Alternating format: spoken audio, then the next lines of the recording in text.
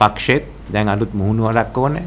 අලුත් නායක පැලැන්තියක් ඕනේ. අපි හැමදාම මෙහි ඉන්නේ නැහැ. මේ මේකේ ඉඳන් 20 25 වෙනකොට පක්ෂය ඉතාම ශක්තිමත් කරන්න ඕනේ. අපි දැන් එතෙන්ට සංවිධානය වෙන්න ඕනේ. මමත් කියලා තියෙන්නේ මේක අප හැමදාම ඉන්නේ නැහැ. ඉන්න වමනාවකුත් නැහැ. මුළු පක්ෂය හැටියට සැලැස්මක් දෙන්න කොහොමද ඉදිරියට යන්නේ කියලා. මේ සැලැස්ම අනුව වැඩ කරන්න.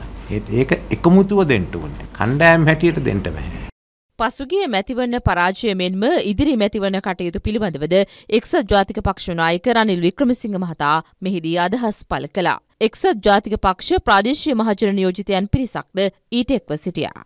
පාර්ලිමේන්තු ඡන්දේ කරන්ට මට පේන්නේ අපි හරියට බැහැලා වැඩ කරනවා නම් හොඳ ප්‍රතිඵලයක් අරගන්න පුළුවන්. සමහරු අද අඩපණ වෙලා තියෙනවා මේ ඡන්දේ දිනන්ට අමාරුයි කියලා. තාමත් ගමට යන්න බෑ කියලා කියන සංවිධායකවරු නැත්තම් ප්‍රාදේශ සභා මන්ත්‍රී ඉන්නවා නම් ඉතින් ඒගොල්ලෝ ඉවත් එහෙනම් ඒ අයට වෙන අයට අවස්ථා දෙන්න ඕනේ. ඊට පස්සේ මම ගමට ගියාම විශේෂයෙන්ම පන්සලටයි පල්ලියටයි යන්න ඕන සිංහල ප්‍රදේශවල. අපි සමීක්ෂණ තුන හතරක් අල්ලලා තිබුණා. ඒකෙදි හැම එකේම ගෝඨාභය රාජපක්ෂ ඉදිරියෙන් හිටියා. ඒත් ඒ සමීක්ෂණ දිහා බැලුවම අපේ අඩුපාඩුකම් තිබුණේ කොතනද කියලා දැනගන්න ඕනේ. සංඝ රතනය නැතුව අපිට මෙතෙන්ට යන්න බෑ.